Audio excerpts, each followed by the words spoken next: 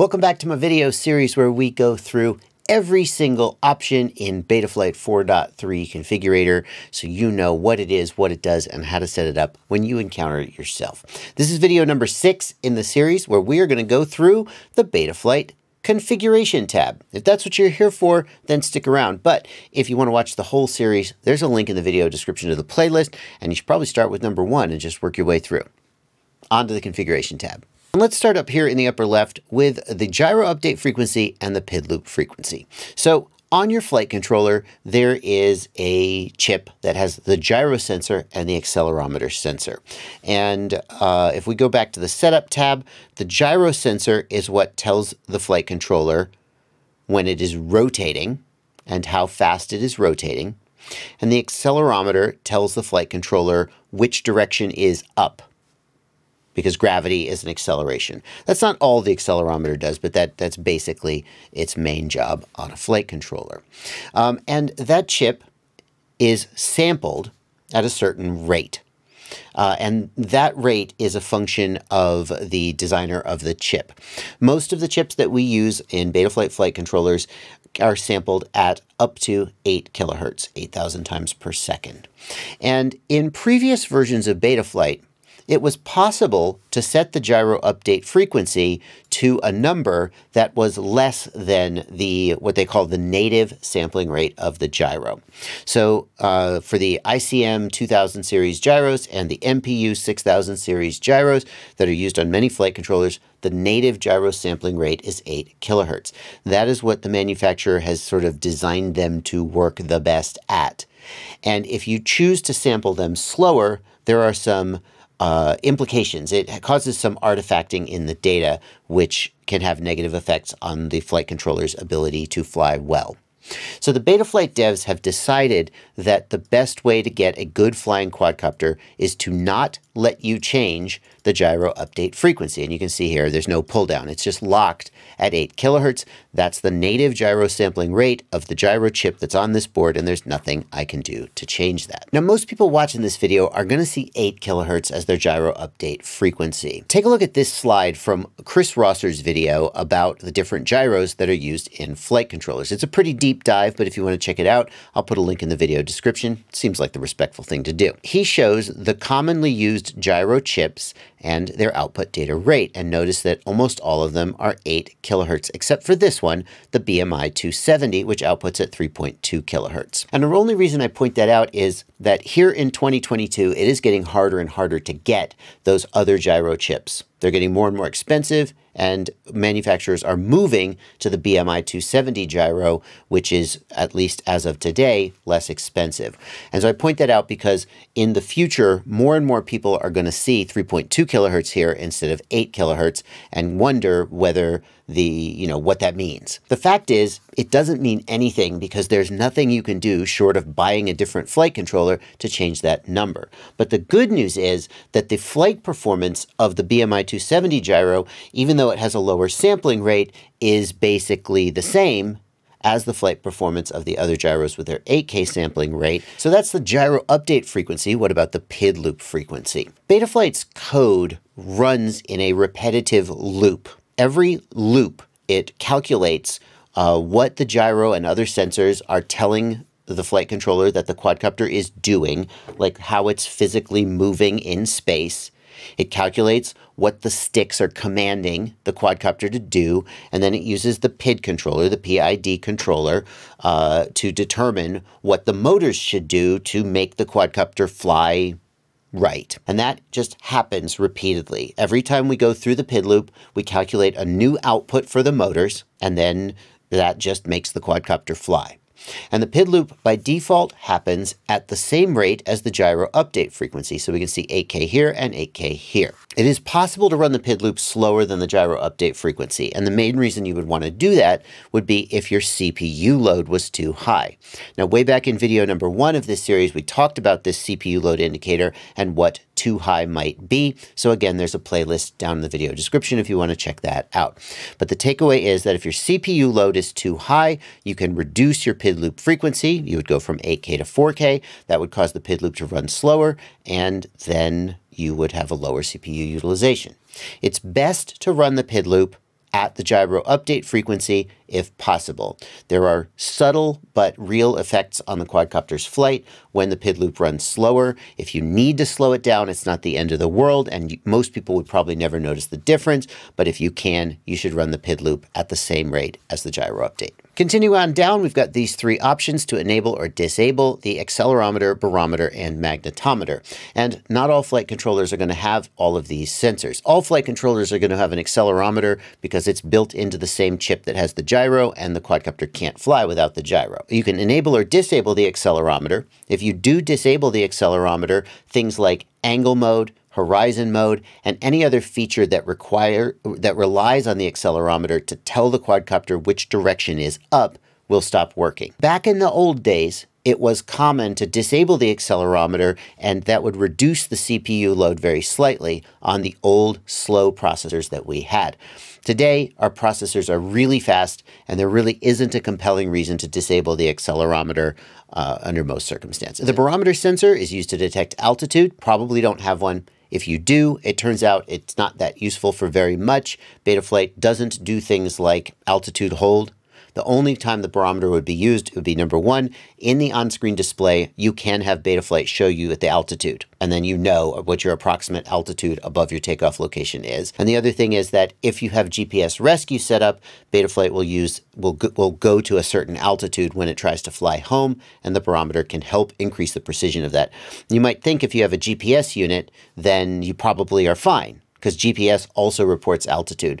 But it turns out that GPS is extremely inaccurate at reporting altitude. It's very good at reporting lateral position on the surface of the Earth, but it's actually really imprecise when it comes to altitude. And if you really want accurate altitude, a barometer is, is recommended. And then a magnetometer is a compass, and it tells you which direction you're facing relative to magnetic north. The craft name allows you to name your craft, JBQAVS. You can name it whatever you like. You can have the craft name show up in the on-screen display. Um, there is another parameter pilot name, which can also show up in the OSD and for some reason is only accessible through the CLI. Betaflight devs should really add pilot name here as well. I don't know why it's not accessible through the through the GUI. A lot of people just use this for their call sign. Um, technically, craft name is supposed to be used for your aircraft. For example, when I try to save my configuration, uh, it will use my it will put my craft name in the file name, and then it would help. Because so if they if I just put put it as my pilot name, then all of my saved config files will just say JB, and it might be a little bit harder to figure out which quad they came from.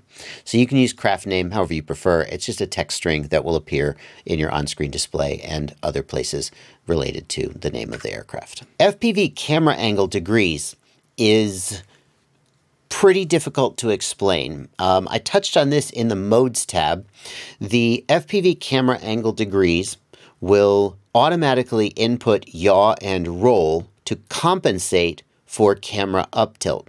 So when you have the camera up tilted and you're flying forward and you're pitched forward at a certain angle, if you just put in yaw, the quad will rotate around its yaw axis but not actually turn. And in order to turn, you have to put in both roll and yaw together. If you put in a non-zero number for FPV camera angle, the quadcopter will essentially subtract out that amount of camera tilt so that it feels like there's less camera tilt than there really is. So if you fly at an up tilt angle of, say, 25 degrees, if you then put in 25 degrees of FPV camera angle, inputting pure yaw would cause the quad to rotate as if it was flat and the flight controller would automatically input the correct amount of roll to cause the quad to rotate like this. The reason that FPV camera angle is not super useful for most people is that uh, it only compensates for a fixed up tilt angle. So if you put in 25 degrees of up tilt, but you're pitched way forward and you're at 45 degrees, you're still going to have to put in the right amount of yaw and roll to coordinate the turn correctly. So the main place I think camera angle is useful is if you normally fly at 25 degrees, but for some reason, let's say you're, you're going to go chase a race car and you need the quad to go faster. And so you've added a bunch of up tilt. So the camera's at 45 degrees. So you're flying with 20, 20 degrees more up tilt than you usually do. And you don't want to like make your fingers adjust to the different amount of roll and yaw necessary to coordinate the turn. You could put in an up tilt angle of 20 and it would make that 45 degree up tilt feel like it was your normal 25 degree up tilt. It would subtract out 20 degrees of up tilt, and then you could just use your regular muscle memory to fly the quad more like you usually do. Most experienced pilots don't use this, and they just learn to manually correct for the amount of up tilt that's in the camera. Maximum arm angle. Uh, if the quadcopter is tilted past this maximum arm angle, it will refuse to arm. So the default's 25 degrees. And what that means if that is that if we are tilted more than 25 degrees in any direction, the quad will refuse to arm. The thinking behind this is that the quad will normally be flat and level on the ground when you're ready to take off. And if the quad is not flat and level on the ground, maybe you have it in your hands and you're like, oh, what am I going to do? And then, oh, I accidentally flicked the arming switch and now, ah, it's eating my face. So the idea is that this is a safety, uh, safety mechanism. However, it's super annoying because if you set your quad down and your quad's just like resting on a rock or your quad's on a hill, if it's not the least bit flat and level, ah, it'll refuse to arm. So you could raise this number, or what I do is I set it to 180 degrees, which completely disables it and allows you to arm at any at any angle. If you do this, you should have some other safety mechanism to protect you against accidentally arming when the quadcopter is in your hands. But that's what I do on all my builds. Next, we're going to talk about board and sensor alignment. And there is a common mistake that people make with this feature that I really want to dispel. But before I do that, could you go down and hit the like button? It really helps the video succeed. Thanks so much. So the purpose of board and sensor alignment is that the flight controller needs to know which direction the front of the quadcopter is, so that when you pitch forward, the flight controller makes the quadcopter pitch forward and not some other direction. And the, all flight controllers will have a front-facing arrow on them, which will indicate which direction the flight controller by default thinks is the front of the quadcopter. But there are often times when you have to mount the flight controller facing a different direction. Like, for example, the wiring of the ESC may not be convenient based on the frame and the other stuff you're putting in the build. So you may have to rotate the ESC. And when you rotate the ESC, it's usually convenient to also rotate the flight controller to match. There are various reasons why you might not mount the flight controller facing forward. And if you do that, the board and sensor alignment is where you will tell the flight controller that it which direction is forward if it's not the default. Now the common mistake that people make when they set this up is that they change the orientation of the gyro and the accelerometer. Right, so for each gyro, some flight controllers will have more than one gyro chip. In this case, we only have one, right? We see there's only one here first, there's no second, but we have this alignment parameter here, which is set to clockwise 180. And this really illustrates the problem because most people assume that the correct orientation for the gyro is zero degrees. It's not rotated at all. Well, of course, that's what's correct. And that's not always true. So if you were to rotate the flight controller 180 degrees and you were to assume that meant that clockwise 180 was the correct orientation for the gyro, you would be wrong. Because for whatever reason, clockwise 180 is the correct orientation of this gyro chip when the flight controller is facing forward. And the actual purpose of this gyro alignment is for the manufacturer to tell the flight controller the orientation of the chip on the board. So for whatever reason, this manufacturer has installed this chip rotated 180 degrees. Maybe they did that because of the way the little traces, it made, made the traces easier to route. For, but for whatever reason, that's the default.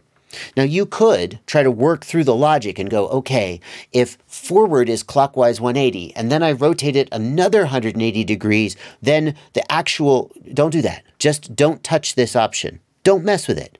Leave it at whatever the manufacturer set it to and use the board and sensor alignment parameters. These parameters rotate all the sensors on the whole board. They rotate the board itself rather than the, the sensor and they take into account anything else that might need to be modified. And that's the mistake people use is they use this option down here. It can work, but it doesn't always work. And these options, roll, pitch, and yaw degrees, always work correctly. So how do we know if this is correct? What we do is we go to the Setup tab and we hold the quadcopter up, facing away from ourselves and flat and level. And then we click the Reset Z-Axis button so that the 3D model also is sitting flat and level. And then we move the quadcopter with our hands. And we tip the quadcopter forward and the 3D model tips forward. We tip the quadcopter back and the 3D model tips back. We tip it left and right, and the 3D model moves correspondingly, and we yaw it left and right, and it all moves correctly. You have to do the checks on all three axes because depending on how you've oriented the flight controller within the frame, there are cases where like the pitch and the roll axis will be right, but the yaw axis will be wrong. So if you only check two axes, then you may not get it right. Now let's imagine that I mounted this quadcopter in the frame.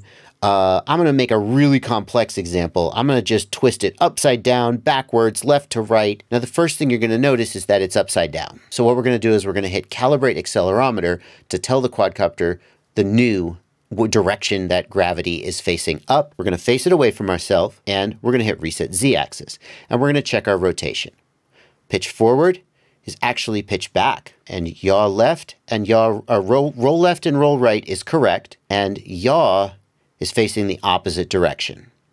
So here's a little a little tip. If yaw is facing the opposite direction, that means the board is flipped upside down. That means it's rotated 180 degrees either on the pitch or the roll axis. Since roll is correct, that means that it is correct on the pitch axis. It's flipped around the roll axis, and that's why pitch is actually backwards. If you're not sure uh, how to logic it out, I mean, you could just look at which direction you rotated it to figure out. But if you're not sure, you can just go into the configuration tab and start fiddling with things. So like, I know that my rotations are 180 degrees. I didn't rotate it 90 degrees because the USB is still coming out the side. So I know all my rotations are 180 degrees. Because the yaw axis is reversed, I know it's flipped upside down, either on pitch or roll. So let's put in 180 degrees of roll and see if that fixed anything. Go back to the setup tab, press reset Z axis. yes, that, that fixed the pitch axis. Okay, that's good. How about the yaw axis?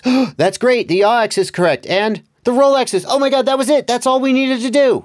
Wonderful. Now, you could imagine more complicated scenarios, like if for some reason you had an oddball frame where you had to rotate the, the, the flight controller 45 degrees. And those are going to be a little harder to figure out because it's not just going to like reverse the pitcher roll axis. It's going to be some weird combination of them. But the bottom line is you need to look at how the flight controller has been rotated relative to its standard direction.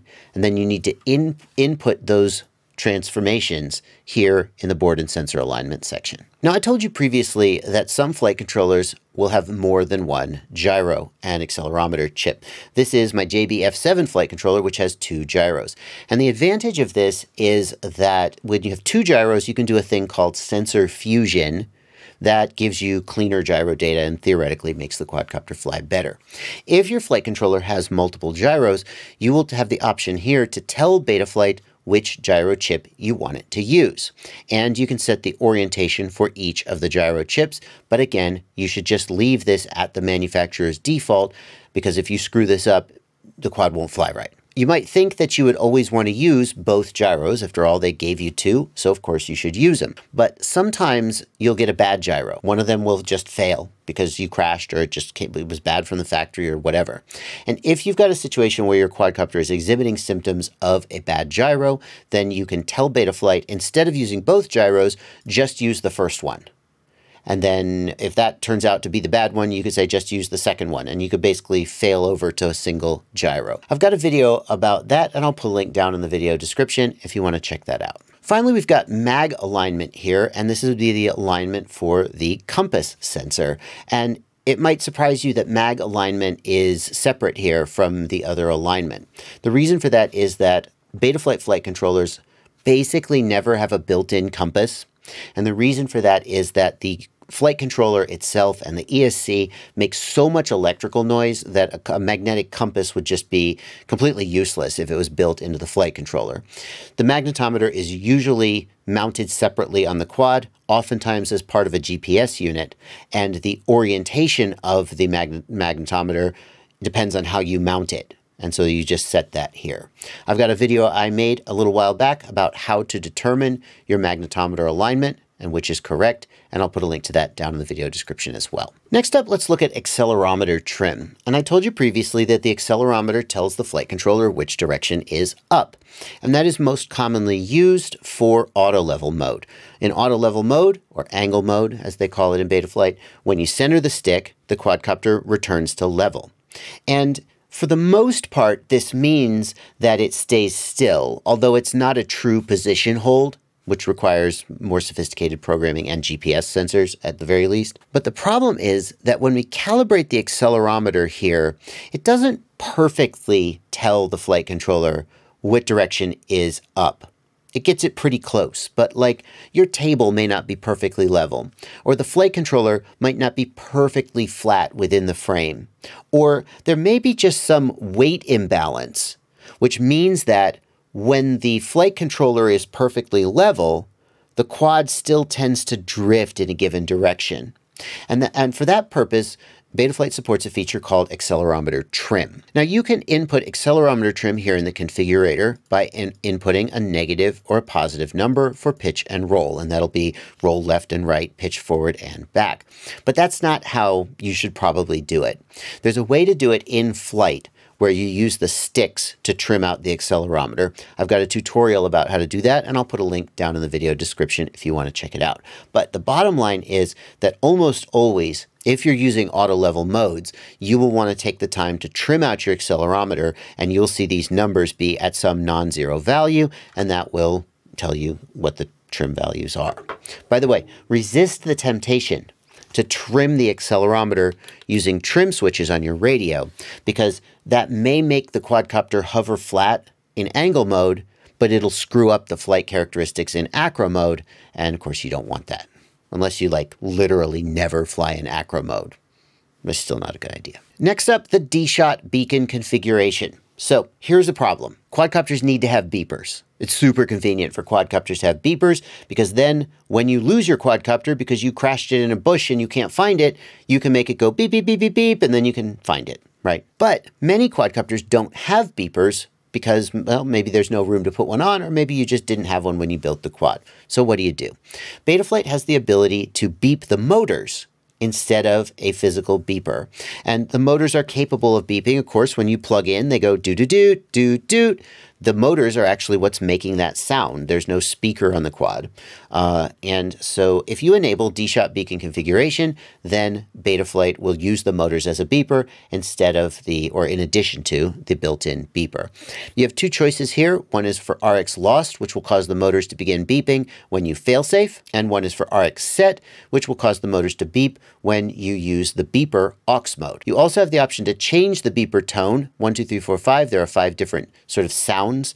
Uh, I like sound number one. It's just like a simple beep, beep, beep. Some people feel that two, three, four, or five is a little bit more audible. I personally find them annoying. You can just change those settings and beep your motors and see which one you like the best. One last thing about this option is you do have to be using D-Shot. If for some reason you're not using D-Shot, and I don't know why that would be, but if for some reason you're not using D-Shot, then this option won't be there. Well, as long as we're talking about the beeper, let's get this beeper configuration section out of the way. This allows you to tell Betaflight which conditions you want it to beep for or which conditions you don't want it to beep for. And if you feel that your quadcopter is beeping all the time when you don't want it to, you can turn these things off. One of the best ones to turn off is the USB option, which on most flight controllers will cause it to stop beeping when you're plugged into USB and working on the quadcopter on the bench. Um, not all flight controllers support the ability to detect that the quadcopter is powered from USB, but most of them do, and I like to turn this option off on all of my builds. Next, let's move over to the other features, more commonly just known as features in the configuration tab. Uh, and we'll just run through these and I'll tell you what each of them are. The OSD feature means that Betaflight will show the on-screen display in your goggles. It'll show things like battery voltage and artificial horizon and other information in your goggles when you are flying. This works with analog video transmitters and cameras on most flight controllers, and in some cases it also is used with HDZero and DJI. Anytime you want the flight controller to participate in creating an on-screen display in your goggles, you need the OSD feature turned on. It'll be on by default for almost all flight controllers that you'll buy today, and there's really not a compelling reason to ever turn it off that I can think of. The air mode feature goes back to the air mode aux mode that we talked about in the previous video about aux modes. Um, to recap, air mode increases the stability of the quadcopter when you are at zero throttle. Now, if you enable the air mode feature, then air mode will be permanently enabled all of the time, and many people prefer to fly this way. However, some people like the ability to switch air mode on and off. And I'll tell you why in just a second. But if you want the ability to switch air mode on and off, you would turn air mode off in the Features tab, and we'll save and reboot. And then you could go to the Modes tab and you will find a new mode there, which I didn't cover in my aux modes video because that feature was enabled, air mode and you can add an aux mode range to allow you to switch air mode on and off with a switch. So why would you want to do that? The main reason that people don't like air mode is that if air mode is on and you touch an object, like you're trying to perch, like Mr. Steele likes to perch on top of something and just sort of sit there for a second and then fly away. Or Drew, Drew, Ladrib, likes to slide on the pavement and grind right? If you have air mode turned on, when you do that, as you touch down, the quad will bounce back up again and react in a strong way. And so if you're going to do perches and slides and grinds, you may want to turn air mode off using a switch before you do those moves and turn it back on again when you're flying. But if you don't commonly do those moves, my recommendation is to turn it on here in the features section and just have it be permanently enabled. The transponder feature goes back to the question of how do you time races? And today, the way that race timing systems work is they detect the video transmitter signal and they time the quadcopter passing through the gate based on the strength of the video transmitter signal, which is convenient because basically everybody with a racing drone has a video transmitter on their drone. But before that technology was developed, uh, quadcopters would have an infrared LED emitter installed facing out the sides, and there would be an infrared LED detector at the timing gate, and that transponder would trigger the detector, and that's how they did race timing. That's what this feature is for, and you're probably never going to use it because if you are racing, people are doing VTX based timing, they're not using those infrared transponders anymore but that's what it is. Channel forwarding is used to forward some of your aux channels to servo outputs on the flight controller. And the main, like imagine that you want to have a switch on your controller that causes a servo to move, like to drop a balloon. It's commonly called a bomb drop, although in today's world where people are very concerned about that kind of thing, we should probably stay away from that term.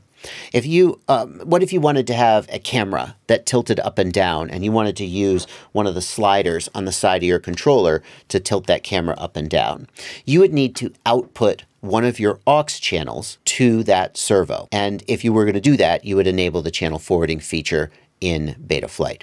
That there's more that you need to do to set that feature up and it involves the servo tab which you can see right here. I've got a tutorial about how to set that up, and I'll put a link in the video description if you're interested. It's fairly complicated, and it's not worth going into any further in this video. The display option. Uh, Betaflight has the ability to attach a small OLED screen so when you're in the field and you want to mess with your Betaflight configuration, instead of doing it in your laptop, you do it on this screen. If you were using that feature, you would enable this option. Most people aren't doing that, and most people won't use this option. LED strip would be enabled if you had programmable LEDs. This is common because they look cool but also uh, a lot of times in races, like specifically the Tiny Trainer Spec Race, requires you to have LEDs on the quad so that they have different colors. I've got a tutorial about how to set up LED strip as well. I'll link it down in the video description, of course. The telemetry feature is enabled if your receiver protocol has telemetry. I talked about this previously in the receiver tab, so we don't need to go into it in any further depth, but you would always want to have this on if you were using any telemetry-based features. The sonar feature is used if you have a sonar sensor, a downward facing sonar sensor that is used to tell the altitude, the height of the uh, quadcopter above the ground. However, I am pretty sure that Betaflight doesn't actually use this sensor for anything because Betaflight hasn't had an altitude hold mode in I can't remember how long. And so I'm pretty sure that even though for some reason Betaflight still has support for sonar sensor, there's no reason to actually use it because it doesn't actually do anything with that In fact, we do have a sonar sensor up here, but like literally there's no altitude hold mode. I don't know what it would use a sonar for. The soft serial feature is used to increase the number of UARTs that you have. So imagine we go to the ports tab and this flight controller has like a huge number of UARTs, more UARTs than we'll probably ever need. But on some flight controllers, especially like tiny whoop flight controllers, there may be only two or three UARTs. And then maybe you've got a GPS unit that you want to solder up or a video transmitter that you want to solder up and you don't have a spare UART for it. If you set up the soft serial feature, you can turn some of your spare pads into a, an extra UART. I've got a tutorial about how to set this up. I will link it in the video description, but that's when you would enable this. When you've run out of UARTs in the ports tab, but you have a few spare like motor outputs that you're not using. Your, your flight controller supports eight motor outputs, but you're only using a quadcopter. So you can turn some of those motor outputs into an extra UART. That's what soft serial is. Servo tilt is used if you have your camera mounted on a pitch and roll servo. And if you enable servo tilt and then do some other setup that we're not going to go into in this video, then it will automatically stabilize the camera as the quadcopter pitches back and forth and rolls left and right. It's kind of cool, but it's not commonly used on racing and freestyle drones because it adds a lot of weight and compromises durability. And then lastly, we have the in-flight accelerometer calibration option. If you enable this option, it allows you to calibrate your accelerometer while you are flying. In the tutorial I showed you previously, uh, when we talked about accelerometer roll and trim, you would land the quadcopter and, and manually input some stick commands to calibrate it. Once you enable it, there will be an additional mode here, Calib, and if you set that mode up with a switch, then you can activate that mode and while that mode is active, you use your sticks to hover the quadcopter, and then you release that mode, and it trims the accelerometer to wherever your sticks were holding it. Some people like that, but personally having to set up a mode and do all this configuration seems like a little tedious thing. It would be a cool way if you regularly had to recalibrate your accelerometer in the field, like because your weight balance, you were constantly putting a big camera on the front of your quad or taking it off and it's constantly throwing your accelerometer calibration out of whack. You could set up this aux mode and you could set up the in-flight ACC Cal feature so that you could easily trim out your accelerometer in the field simply by doing a hover and flicking a switch. Next, we come to the GPS section, and when we enable the GPS section, we see a few additional options here. By the way, in order to enable this and use this, you also need to configure the GPS here in the Ports tab, and you would need to set one of your uh, sorry one of your sensor inputs to be GPS. Back in the configuration tab, the GPS options include the GPS protocol. There are two options here, uh, three actually, two that are commonly used though, NMEA and u-blox. And almost all GPSs that you're going to buy today will support u-blox. The only real reason to use NMEA is if your U GPS didn't support u-blox, but since most uh, GPSs today do support u-blox, you should use u-blox. And the reason you should use u-blox is that u-blox supports automatic configuration of the GPS unit. So there are various parameters that the GPS unit and the flight controller need to agree on, and if they don't, then it won't work. With NMEA, you have to set those parameters manually. With u-blox, you enable auto baud and you enable auto config, and then it just takes care of it automatically. And although I'm not like a super expert on GPS enabled quads, the people who are, like Pavel Spychalski from the iNav development and other people who do a lot of flying with GPS, say in general the best advice is enable u-blox, enable autobaud, enable autoconfig, and then when you do that, if your GPS is wired up correctly, you should see the GPS icon here at the top of the screen turn yellow, indicating that the flight controller is talking to the GPS. Now, some people have argued that switching from u-blox to NMEA has resulted in faster updates faster refresh of the GPS. I don't know if that's true, but I do want to report that some people have said that. Some people have also pointed out that if you disable autobaud and then you go in the ports tab and you manually set the baud rate, that the GPS will initialize faster. It will it'll it'll start up faster a little bit. Um, that may be true, but if you don't know what the correct baud rate is for your GPS, then you're kind of out of luck. This use Galileo option uh, should basically always be turned on. It uses additional uh, satellites to increase the precision and increase the lock, the number of satellites locked. And I don't think there's really any reason to turn it off. And then finally, we've got the set home point once option. Uh, and the way that Betaflight determines its GPS home point is when you first power up, there is no home point. And you'll notice that when you first power up, the direction home arrow is just a dash. And then as soon as you arm the quad, that becomes the new home point uh, for the direction home, the distance home, and if you do return to home, that's where it will fly to. Now, the default way that Betaflight works is if you land during flight and then rearm the quad, that becomes the new home point.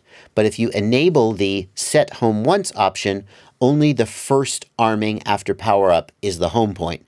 If you subsequently land and take off again, it does not set a new home point. So you can decide which of these matches your sort of mission profile. Lastly, we've got the ground assistance type here. And ground assistance is a set of terrestrial broadcasts that can improve the precision of GPS units. Um, ground assistance may or may not be present in your area. Like it, I think it's most present in urban environments where GPS signals may get corrupted, and they'll put extra sensors like uh, up on buildings and stuff or cell towers. I don't really, I don't actually really know, but the general advice that I've seen is to set ground assistance type to auto detect. There isn't a really a downside to having it on that I'm aware of. And if you know where you'll be flying, you can choose the region that you're in, but also you could just choose auto detect and leave it there. Well, as long as we're talking about GPS, I feel like we should get the GPS tab out of the way because there's actually no configurable options in this tab. It's just a tab for you to see what GPS data Betaflight is seeing at this moment. And at this moment, we're just dealing with a naked flight controller on the table and we're indoors. So even if we did have a GPS, we wouldn't actually be getting any satellites locked or anything. But if you've got a GPS unit and you want to see how many sats Betaflight has locked, what satellites it's seeing, and if you have internet access, it'll load a map here and show your current GPS location. This is a great place to do that. This is useful for troubleshooting your GPS unit when you're not getting a lock, but remember, the first thing you should check is that you have a yellow GPS icon here at the top of the configurator, meaning the flight controller is talking to the GPS unit, and then you set it outside for five or 10 minutes and see if it gets a lock and you see, you know, try and figure out what's going on there. This isn't really a video about troubleshooting GPS, so we're not going to go in any more depth there, but that's the GPS tab. I think next we'll just work our way down this uh, uh, down this list and we'll go to the power and battery tab where we'll see some options for configuring the uh, battery voltage and the the amps or milliamp hours that the flight controller is detecting. But there are some quirks here in setting this stuff up that a lot of people don't know about. You'll have to watch the next video in order to get that. There's a card on screen once that video comes out uh, and a card here for the whole playlist if you want to go back and check out all the videos in this series. Thanks so much for watching. Happy flying.